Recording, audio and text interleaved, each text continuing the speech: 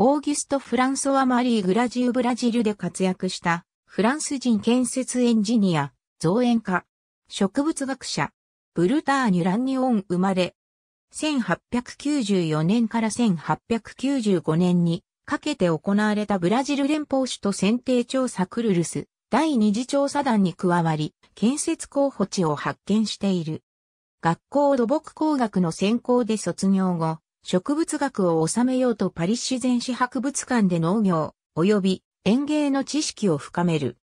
1858年、25歳の時に、時の皇帝リー・ペドロ2世に壊れ、ブラジルに渡り、王族の公園や邸宅の庭園整備を手掛け、1869年にはリオデジャネイロで国家公認の造園建設官に任命され、キンタダ・ボア、ビスタなど数々の場所のランドスケープデザインを担当している。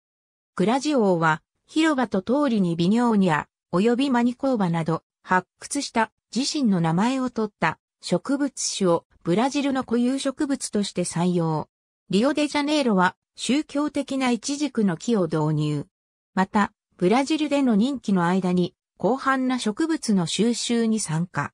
1897年にフランスに戻り、ボルドーに定住。個人で植物標本に取り組んでいる。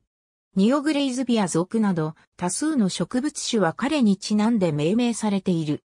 植物学者でストラスブール大学医学部教授、アントワーヌ・ローラン・アポリネール・フェット2巻の情熱的インカ植物、デュブレジルといった協調がある。リオデジャネイロ領域区切り。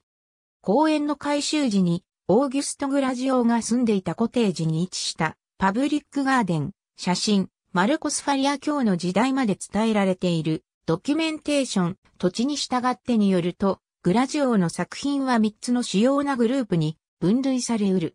グラスは植物の学名で命名者を示す場合に、オーギュスト・グラジオを示すのに使われる。ありがとうございます。